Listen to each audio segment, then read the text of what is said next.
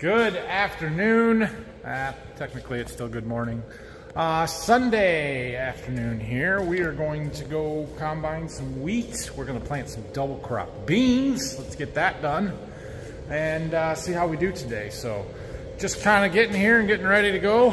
Got Rylan tagging along today, and uh, we gotta get the combine out, get it fueled up and ready to go for the last uh, 78 acres here that we've got at Waldron.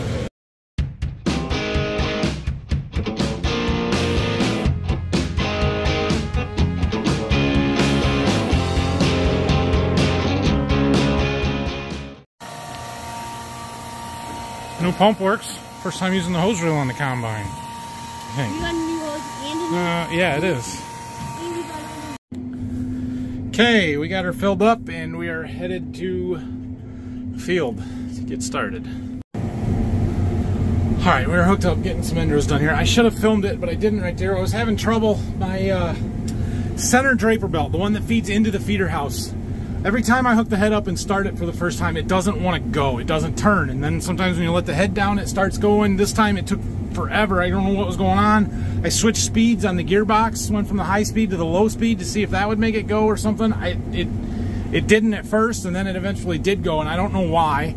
I know at one point the one of the engineers from John Deere that helped design the center feed section of this head was watching my videos. So if you're still watching, tell me what I'm doing wrong.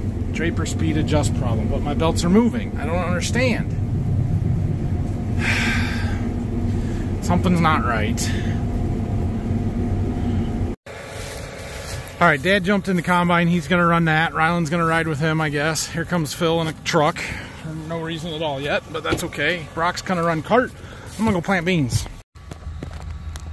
I did get all the software updates done to the displays in both tractor and combine, and uh, our cameras are still not working, and our machine sync still doesn't seem to be working, and I'm freaking ticked. That's ridiculous that we can't make this stuff work, and now we're going to be halfway through harvest before they even come out again. It's just absolutely ridiculous the amount of money we pay for stuff for it to not work. It really ticks me off. Let's go plant some double crop beans. We um we got to stop down at the seed warehouse, fill up some seed. What is that? Why is that doing that? Diff lock's on. Why is the diff lock on? Um yeah, we got to go fill up some seed. I have some paper bags of some treated beans that I want to get used up so I don't have to worry about returning them. Uh, so that is uh, priority number one. I believe there's about 90 bags, but we'll have to go and count. Oh, they might be in two different varieties. Ah, crap. We'll go see what we got down there and figure out what I'm going to use up and what I'm not. But we're going to throw those in first, and then we'll plant the rest with untreated seed. We'll talk about that later. Let's just go and get loaded up.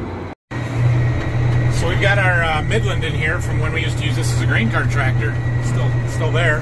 And uh, just heard Brock and Dad talking on the radio. Brock thinks he's got our machine sync figured out, so maybe it is working. Just hadn't established a connection yet when I was there. I don't know, but that's a good sign. Okay, I believe this row here is all the treated beans that I have. Oh, those are treated too.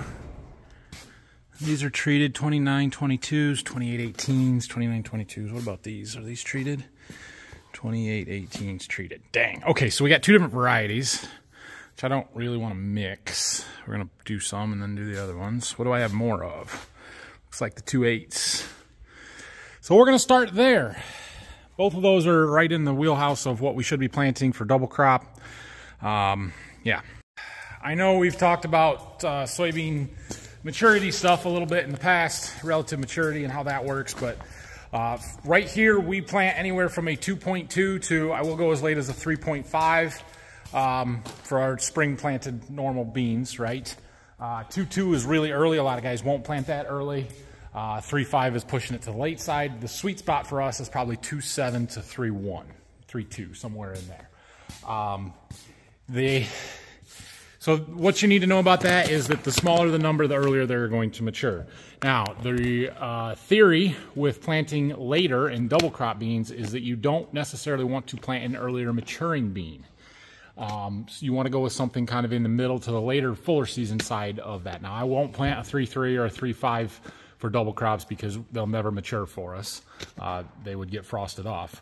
But I also won't plant a 2-5 or a, even a 2-7 is pushing it to the too early side. So uh, 2.9 to 3.1 is my ideal. The 2-8 will be fine. Uh, so we're gonna we're gonna plant those out and then all the rest of these over here are untreated paper bags. I've got some 2.5s, we won't use those. I've got some more of the 2.8s, 2.8s, 2.8s. Looks like that's what we're gonna use then. So, uh, and then I do have some boxes. We won't need that many. If I needed them, we could use them, but we won't. So anyway, uh, let's get those thrown in. Oh, I really don't wanna throw all those other bags on the planter. So we'll probably just get them brought to us or something. I don't know. I don't know. It'll be fine. We'll just use them up. Let's get them done. Have I ever told you guys how much bags suck? Oh my goodness. They suck even more when it's July and it's hot out. Ah, 46, that's all I put in there, 46. That's all we got of that variety. Clean up our mess and go plant. These are the days where we get tar all over our equipment from the roads. Trying to go a little slow, but only so much I can do. Right, we're just getting started here. Good news, the balers are baling, so they've got, I don't know, they had like 15 or 16 windrows to do uh, when they started, and they're baling and bundling already, so they should get done before we get to them. We got a screwdriver? Yeah. We got to do a little digging. I don't have my seed digger with me because it's not planting season. Um, make sure our depth and everything is right. And then we hammer down. Ooh, pretty shallow there. Ooh, pretty shallow there.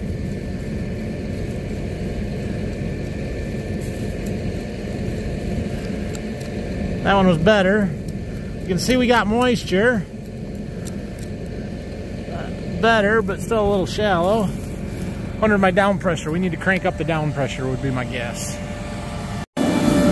So one little trick to tell if your down pressure is good or not on your planter is to come over to your gauge wheels while the planter's in the ground and see if you can spin them. And you should be able to spin them just a little bit. This is a little too easy. So we need to we need to put more air in our down pressure airbags, push those down into the ground. That'll keep our depth a little more consistent. Double cropping. Good to go here. Planter's a little small, a little small compared to my corn planter, but that's okay. We're good. Um, this is double crop beans. So I've often said this before, okay? When uh, when we are getting started planting in the beginning of the year, we have April planting speed, we have May planting speed, and we have June planting speed. And what I mean by that is the later it gets, the faster you're willing to go to get the crop in the ground. Well, we're in July. So where in April I might not push this planter over five miles an hour, it's July. We're going six and a half, which is a lot of people just do that anyway with this, especially beans, because it's beans. The only thing that gives me a little bit of pause from doing that or going a little faster is that we are planting a very high rate. So my meters are spinning really fast because they're got to put a lot of seed out. Uh, the reason we're doing that is because they're, they're double crop beans. It's July 9th today. The later you get, the less time these beans have to grow. The less time they have to grow means the less time they have to get to canopy, to put nodes on, to uh, have places to set flowers and therefore pods. And so we need more plants in order to get more nodes, in order to get more sunlight capture, all of those things. Uh, so the later you go, the higher the population that you plant.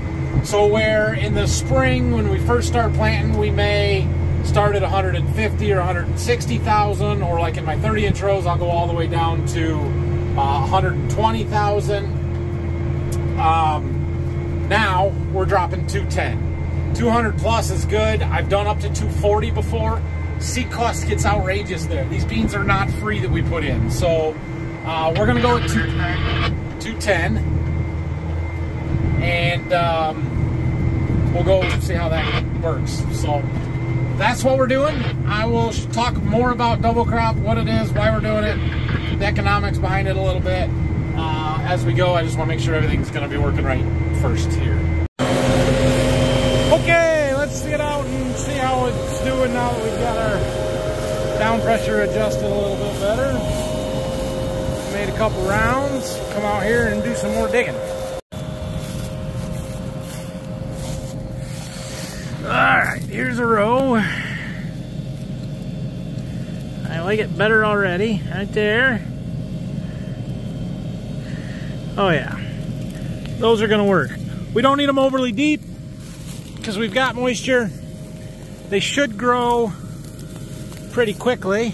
Now, we just dug this row. There's one right in this wheat stubble row, which is not ideal. But that's what happens when you mix 10 and 15 inch spacings. You're gonna get some overlap. So some of those aren't gonna be real deep. Just pounding them in there is sort of difficult. But they are there. And then this one's right in the middle again. And those look good. And then that one's right there, right on it. Dang, right on it. It's gotta be right on it, doesn't it? Yep. I don't know if I could shift over like three inches and they would get sort of just offset on them or not. But yeah, there's a bean. Oh well, they'll be okay. So there is a little bit of moisture in this ground. That's one of the requirements to plant double crop beans is there has to be enough moisture to get them to grow. I think we have enough to get them started, but it's not a lot of excess. Like we could use some rain. Fortunately, Wednesday through Saturday, there's chances of rain every day. So we should get some, get these things going. Okay, we are still planting here. Uh, the baling guys, the balers are about done. They're still bundling. They're gonna start stacking and other stuff later. But I brought the drone and I thought we could get some footage of me planting and them baling and bundling and all that in the same field. The neighbors are halfway across this field over here combining wheat. I was really hoping they would be out there so that I could film them combining and me planting and the balers baling over there all at the same time. Uh, but they're not working today, or at least not yet. So um, we'll get what we can now before the balers are out of here, and maybe we'll put it up again later. But getting uh, getting the drone set up. All right, I um, still got the drone in the air, but we've gotten a bunch of footage, both the balers, the Baron, bean planter. Uh, my wife called me in the middle of that, and um, she was just happened to be driving past the field where we're at, and so I said, "Hey, I need a ride back, so I can so I can go get some more seed." We've got. Uh, 27 acres planted, we should be able to do like 32. So we're, yeah, we're about out of seed anyway. And uh, that's gonna work out good. So we're gonna go back, grab a truck and that other seed, and get the drone down here before the battery dies on it. And um, we will uh, be back to keep planting. All right, we got some more beans. Probably not enough still to finish, but that's the rest of the treated ones and then we'll know how many more we'll need to get the rest of that field done. So we will come back here and either load up paper bags or if it's close enough, maybe we'll take a box because that would be way easier. We are gonna plant out what is in those seed tanks. I should level them off. Ah, we're not that critical.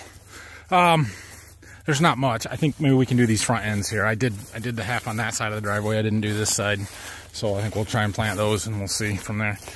Okay, see all this green stuff? That is mare's tail, and there is a bunch of it out here. And that's not good. So we need to uh, we need to spray that sooner rather than later. Starting to run out. All we gotta do is make it to the driveway. Be a little thin in that spot. They'll be okay.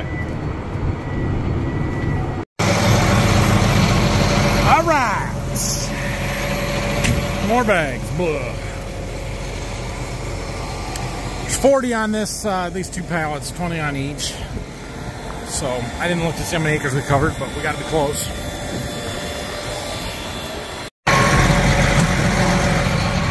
Oh, we're loaded. Brutal. Bags are brutal. Okay, 40 more units. Let's plant until they're gone. I gotta change the variety in the monitor. And we'll get going, and then we are gonna have a chat about the economics of double crop beans. All right, we were planting. I got my GoPro so I can mount you on that rail and not have to hold the camera because you're gonna have to listen to me talk for a little while. Maybe I should overlay the drone footage with my voiceover of me talking. Whatever, we'll see. Uh, anyway, let's talk about double crop beans. Let's talk about the economics of them and let's talk about, um, well, first of all, what are double crop beans, right? So some of you may not be familiar with that term. Other of you may not realize that some people don't plant double crop beans, right? So um, double crop just refers to the fact that it is planted after we have harvested a main crop for the year already. So in this particular field, we grew winter wheat that this year. That's that was the crop. That was what we grew, planted. That's where we intended to make our money. We um, are now planting a second crop in the same calendar year trying to double dip, if you will, and uh, and get a second uh, you know crop off of the same acres within one calendar year. Um, the farther south you go, the more prevalent this is. Up here in the north, northern Ohio into Michigan, some years it works, some years it doesn't. The farther north you go, I would say if you get 50 miles north of here, they don't ever try and double crop. Maybe a few guys, but uh, even around here, there are guys that won't ever do it, just don't think that there's enough potential there. So it's very hit and miss for us. Like I said, sometimes it works and sometimes it doesn't. I have had double crop beans go in the 40s. I have had double crop beans that we never even harvested because they didn't grow or didn't produce beans. So you never really know. It's kind of a gamble, but uh, if, if you can get 20 plus bushel, it's worth something. All right, so that's what double crop beans are. So let's talk about the economics of it. Obviously, we've already harvested a wheat crop. We were gonna do that regardless, so we're gonna leave the wheat crop totally out of it. Same thing with the straw. We were gonna do that whether we double crop or not, so that doesn't factor into this. We need to purely look at what are our costs just to plant the double crop beans, what would our cost be if we didn't plant double crop beans, and what is the potential benefit of doing it? What is our potential income, right? So let's start there. Let's start with the potential income. Let me uh, let me pull up something on my phone here while I'm talking. So it is July 9th. We are pushing the very tail end of the soybean planting window. Very tail end, okay?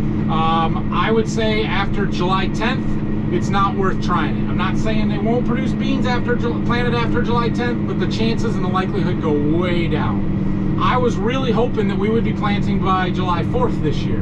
And that may not seem like a big deal, you know, less than a week, but it can make a huge difference when you're this late in the calendar year. So I don't have a ton of optimism for the beans we're planting right now, but it's it's still worth the chance. Um, so this late, I would say our best case scenario is probably 30 to 35 bushel beans. Uh, had we planted them a week ago, I would say 40 is possible. I would say the chances of them being 50 bushel double crop beans uh, is about 2%, maybe. I've never seen it. 1%. It's, it's not going to happen. Uh, the chances of 40 bushel double crop, maybe 10%.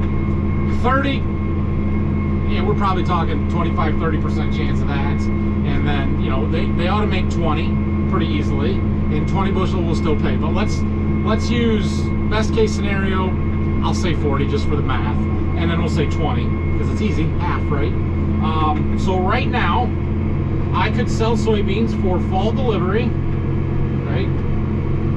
Soybeans fall delivery right now for 12.68 a bushel.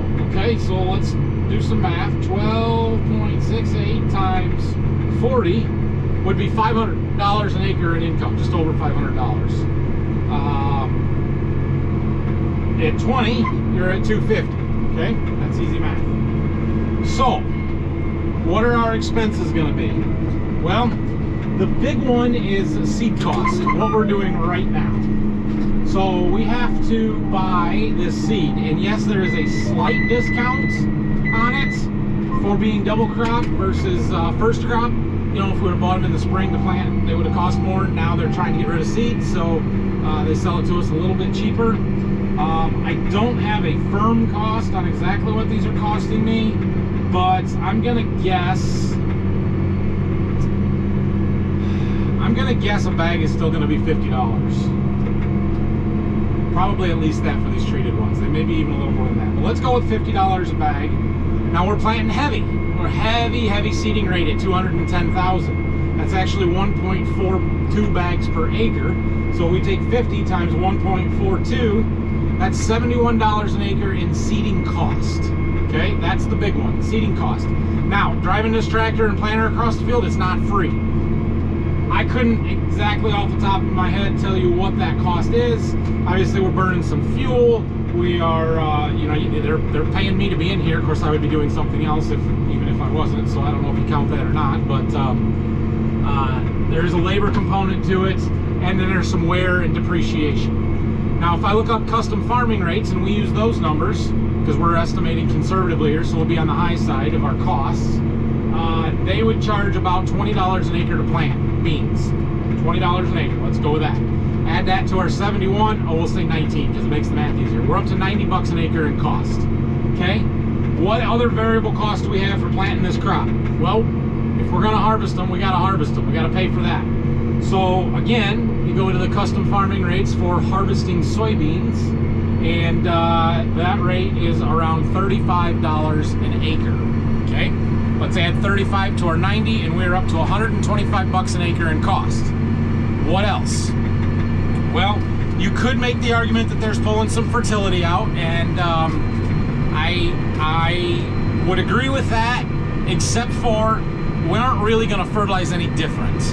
Uh, we aren't gonna add anything extra for the double crop beans, you know, now, and we aren't gonna put any extra chicken litter on here this fall after we harvest the double crop beans. So we're really living on soil reserves here and it's a pretty minimal impact. So we're not gonna count any fertility stuff.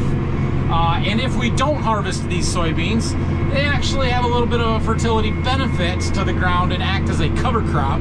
When we work them under and then plant corn here next year, they'll give a little nitrogen kick. So it's kind of a wash. We're gonna call that a, a net zero, all right? Uh, the next thing that may be sort of different would be chemicals. Now, we have a ton of mare's tail growing out here. We're gonna have a ton of volunteer wheat growing out here in a matter of a month or a few weeks. So that's something that we may have to address. Would we have to do that if we didn't plant the double crop beans? Yeah, we sure would. So does that matter? Is that an expense that we have with, you know, is it, is it a variable cost to the double crop beans? No, it's not. The only thing you could say is that we may have to make two applications now, one now for the mare's tail, one later for the double crop, uh, for the volunteer wheat, versus mowing these mare's tail off now with a, a mower or in a few weeks and delaying that and then coming back later this fall and spraying everything off in one pass and uh, ripping it up and, and being done. So I am going to say that the difference in chemical cost is also negligible. I have a row that's not working right. We gotta go fix it. I'm not getting any seed out to row one. Like my hose is plugged, so I took the end off here. And uh, I don't know if you guys can see down there. Hold on. Can you see in there? Negative. Turn the light on. See that tab? That's a problem. But how do I get it out? I don't know what to do about that, really. It's kind of stuck in there. I can't open that bottom door because all the beans will come out and I'll never get it closed. So I kind of used the screwdriver and jammed it in there and tried to push it off to the side because it's the last one. So if I get it on the edge, it might not plug stuff up, but if it keeps working happening, I'm gonna have to just have a skip row until we get the tanks empty so that I can get in there and dig it out. There's too many beans for me to push them out of the way and dig it out of there until they're emptier. Good thing it's double crop. Okay, so where were we at? We were going through expenses. We were up to 125 bucks an acre. We're not gonna count chemical expenses. We're not gonna count fertilizer expenses because those we're gonna have either way. Tillage. We aren't doing any tillage any different here. We're no tilling the double crop beans. And uh, we're gonna disc rip it when we're done in the fall, which we would do ahead of the corn crop next year, whether we put beans here or not. So that doesn't change anything either. And then, uh, you know, land cost, right? So thing is, we have to pay the rent, or we own this farm, so we have to factor cost of ownership. However you want to look at it, technically it is rent, um, regardless of whether we plant these double crop beans or not. And so that's not really something we add in either. So all told, at the most, using custom farming rates, we're gonna have $125 an acre invested into this crop. Now, you take out the equipment side of it, direct expenses, it's C. That's it. It's C. So we're 70 bucks an acre there, plus cost to run a tractor, a planter, and a combine. It's not that much. And when we go back to the income side of it, we're looking at, you know, hopefully worst case scenario, 20 bushel beans is 225 bucks an acre. We're still making $100 an acre doing this. We're gonna plant about 85 acres of beans out here, times 100 bucks, that's $8,500. Meh, that's not nothing, right? It's something. And uh, if they go 40, which is absolute best case scenario, and I doubt they will do that, um, then we make $500 an acre minus our 125 means a 375 net per acre and uh, 375 times 85 would be almost 32,000 so the potential benefit is there right that's worth it um, now there is the the actual worst case scenario where it's dry the rest of the summer and these beans just don't grow and we actually don't harvest them so then what are we out? Well, we're out the seed cost and the planting cost, but not the harvest cost because we won't run the combine over it in that case. And so then you're out 90 bucks an acre. They said there's a little bit of cover crop benefit. Oh yeah, that's something else that we forgot. We did not seed clover as a cover crop on this field because we knew it was our double crop potential.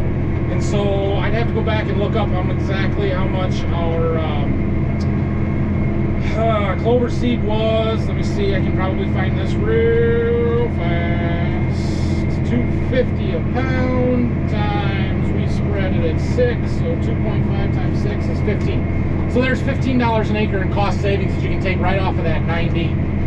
Gets you back down to 75 bucks an acre. Um, that's worth it. It's worth the chance.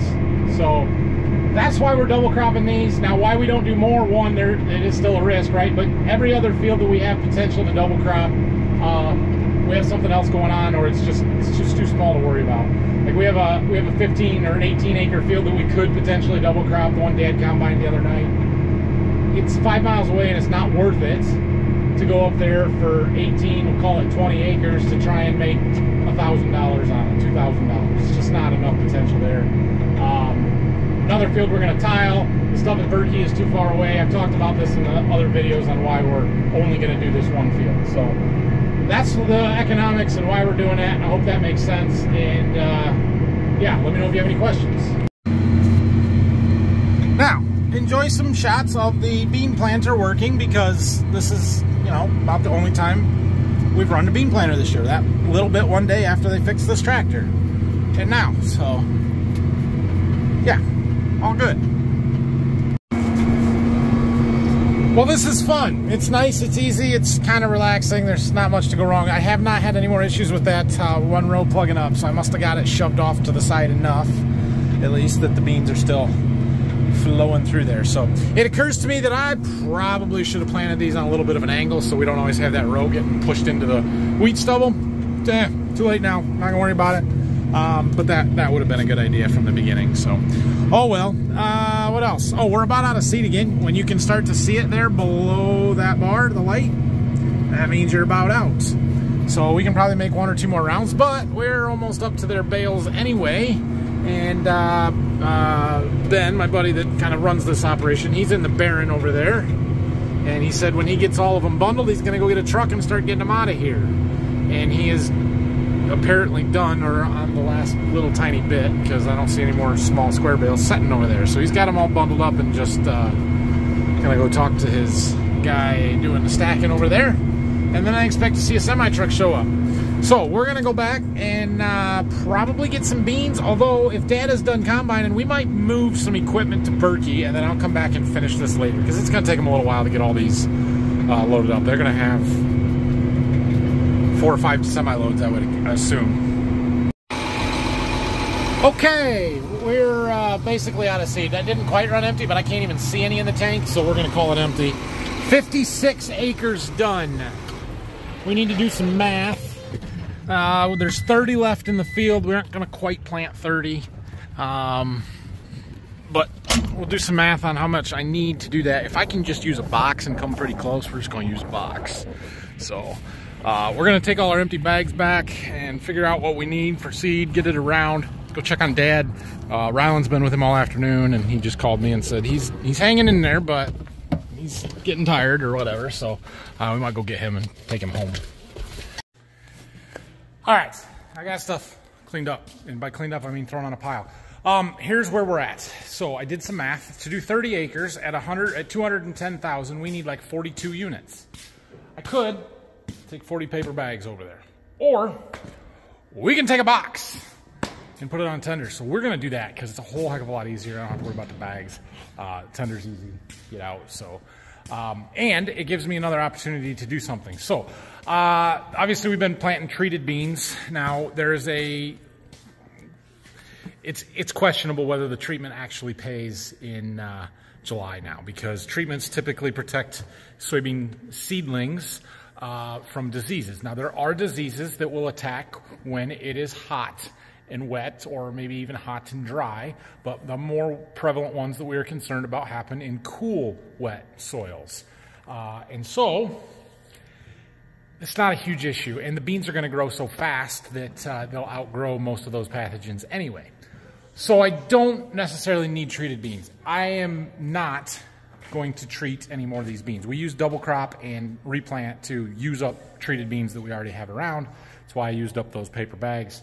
Uh, however, I am gonna run this box of beans through the treater because I want to flush the lines. I want to be able to run it with just straight water in it and get rid of the chemical that's say in the lines and stuff. Like I, it's it's empty because we finished with it empty, but I never ran water through to flush everything and help clean it out a little bit before we start getting ready to treat wheat later in the uh, later in the summer here or the fall. So uh, we're gonna go ahead and do that, get everything set up to, and get some water and just like I said, flush water through everything.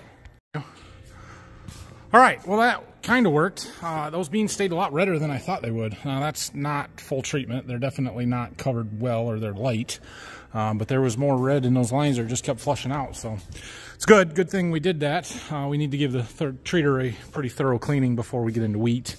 Get any caked on treatment, build up anything like that off, which there is some. It's not horrible. I did clean it out during the year a couple of times, but uh, yeah. So now we need a uh, seed tender, but we're gonna go check on the harvest operations and see how things are going down there first. Oh, you know what we need to do first? Check on our orange corn.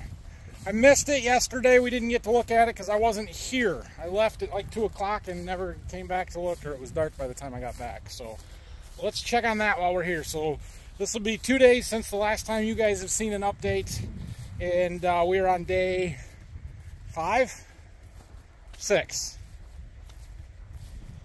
I think it's five. But we could be at six. I don't know. Today's Sunday. Did I do that on Monday? I think I might have done that on Monday. Look at this. Here's our plant. You can barely tell that it's the one that we painted. Uh, we've gotten one, well, maybe just one new leaf collar, but look at how much new leaf growth we have. I mean, this is where this would have been tight into the whorl when we painted it. Right there, it is killing that outside leaf tissue. It just grew fast enough to get past it. This was the last little leaf that was just spiking up. It would have been like this one. Unbelievable amount of growth. We've got lots of elongation in the bottom nodes, girth. It's kind of peeling open. It's, it's that's that's impressive. So we're not quite to a week yet, but I would say we're gonna hit doubled in size in a week. Six. Today is day six. Yep, they're almost done. Finishing up clear back here in the point. Just a little bit in the point here to finish up. Walk around on the outside, we can get some decent footage. We've got the super good wheat here. There's that though. Yeah. Look at our clover. looks fantastic. Look green along this edge. I think this field's been a little wetter, which we kind of knew it would be. This was some of the last, this was the last planted field here at Waldron. And um, then we went to Berkey. Plus this is a fuller season variety than the other stuff has been. But sounds like it's yielding really well. Not here, obviously, but the rest of the field.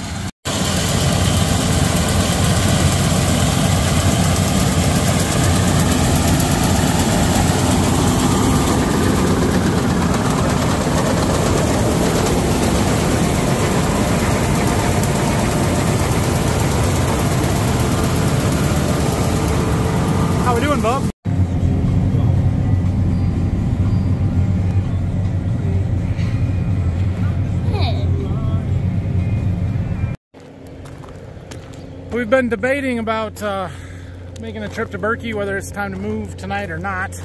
Just found an oil leak on our grain cart though. A hose is blown. It's rather serious, so uh, that will kind of dictate that that's not going tonight. We gotta get that fixed in the morning. Uh, not a big deal, but it's a hydraulic hose about 18 inches long that the crimp is broken on one end, so it's leaking all over. Uh, we may take trucks, combine, something. I don't know yet. We'll figure it out. It's just a little hose. It goes from right there to right there. I got it off on the bench. It'd been leaking a little bit, but couldn't have been long because it was a big leak when we uh, started it up. Whatever, yeah. Uh, the ones on the tracks you can do more, but the bearings on the cart are just a couple. This hose crimp was bad. All right, so we're gonna fix that hose in the morning. Brock is greasing, giving our tracks and everything a shot of grease. Um, we're making plans for moving. Dad's gonna head out now with the head and a pickup. Phil and I are both gonna take trucks, semi trucks, and we're gonna have Brock bring this truck with the boss, the fuel trailer. All right, we are loading the boss up, fuel and DEF for the trip to Berkey because we're gonna need both of these things down there with the combine and the cart. Especially since we're not bringing it back before bean harvest. So load her up.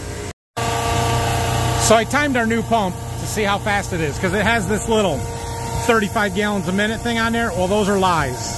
Total lies. According to this, when I time a minute, we get 17 gallons.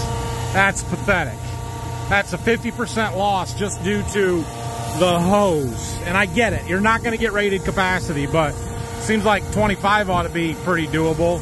I don't know. That's why I thought maybe we should go with a higher capacity pump, but you'd almost have to upgrade all of this stuff to inch and a half or inch and a quarter at least to be able to, to utilize that capacity and whatever. It's still better because the 20 gallon a minute pump probably only puts out 10. So, you know, this is better than that. That's almost 70 gallons of DEF. That's probably enough.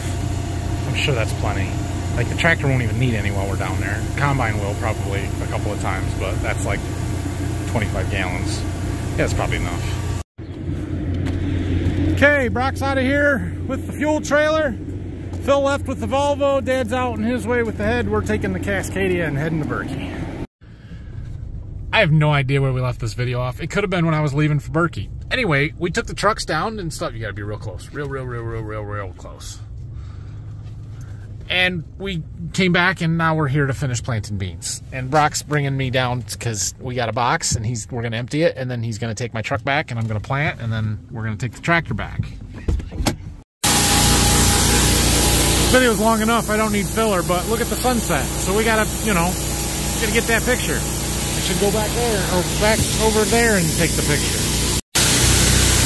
FYI, I remembered to get it. That, that'll plug your tubes up. Time to go. We should have enough beans to finish this, or at least to do what we want to do. So, we go. The baling guys are almost done and out of here. He um, he's got one full load here, I know, and then maybe a partial of another one. So we may have to plant around a few bales if he doesn't come back before we get to him. But for the most part, uh, they got it all out of here. So that's a good deal. Well, dang, he's gonna get them all. Cool. Just in time. Two more there, and they'll fit right on the back of that trailer. Oh, this is fun. I stopped the chat. He's strapping the load down and gonna head out. Thanking him for getting stuff done timely. I appreciate it.